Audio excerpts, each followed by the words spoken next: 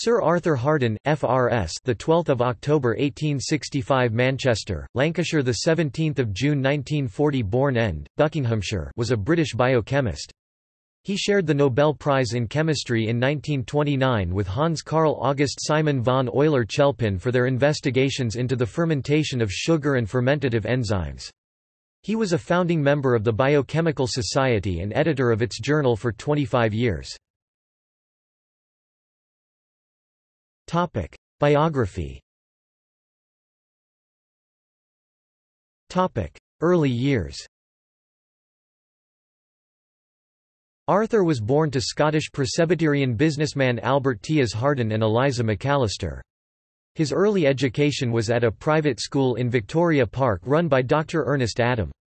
He went to study in 1877 at a Tettenhall College, Staffordshire, and entered Owens College in 1882, now the University of Manchester, in 1882, graduating in 1885. He studied chemistry under Professor Roscoe at Owens College and was influenced by J.B. Cohen. Research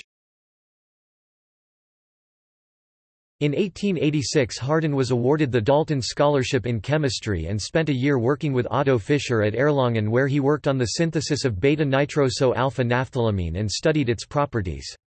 After receiving a Ph.D. he returned to Manchester as a lecturer and demonstrator in H.B.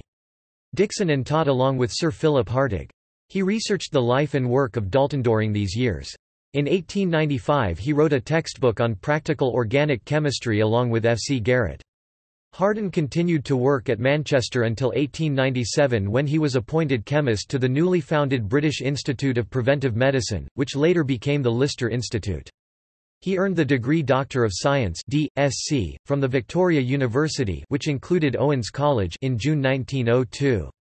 Five years later, in 1907 he was appointed head of the biochemical department, a position which he held until his retirement in 1930 though he continued his scientific work at the institute after his retirement. At Manchester, Harden had studied the action of light on mixtures of carbon dioxide and chlorine, and when he entered the institute he applied his methods to the investigation of biological phenomena such as the chemical action of bacteria and alcoholic fermentation.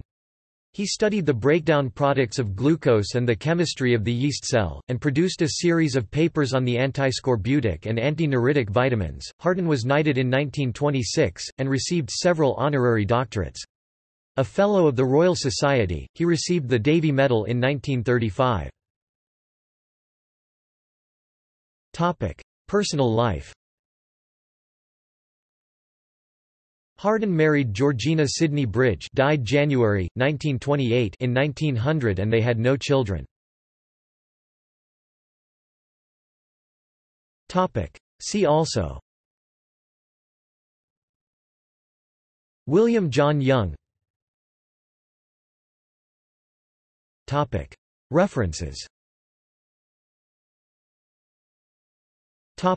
External links Works by Arthur Harden at Project Gutenberg. Works by or about Arthur Harden at Internet Archive. Media related to Arthur Harden biochemist at Wikimedia Commons